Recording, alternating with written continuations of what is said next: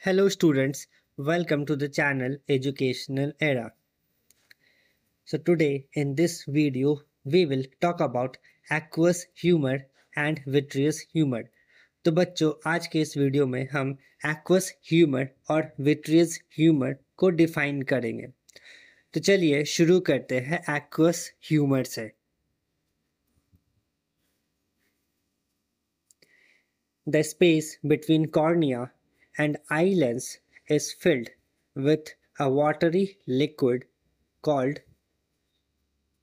aqueous humor. तो aqueous humor क्या है बच्चों कॉर्निया और आई लेंस के बीच में जो स्पेस होता है, वो किससे फिल्ड रहता है वाटरी लिक्विड से फिल्ड रहता है उसी वाटरी लिक्विड को हम एक्वस ह्यूमर कहते हैं next vitreous humor.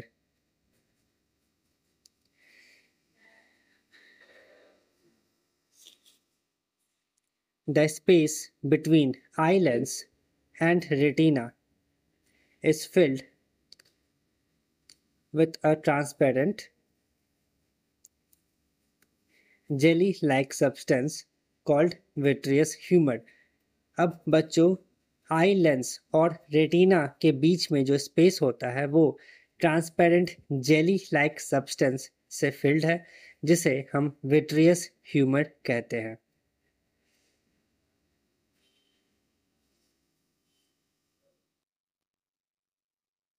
और विट्रियस ह्यूमर क्या करता है?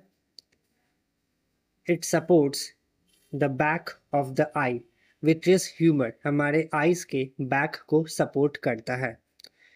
So that's all for today in this video thank you so much for watching please do subscribe to educational era thank you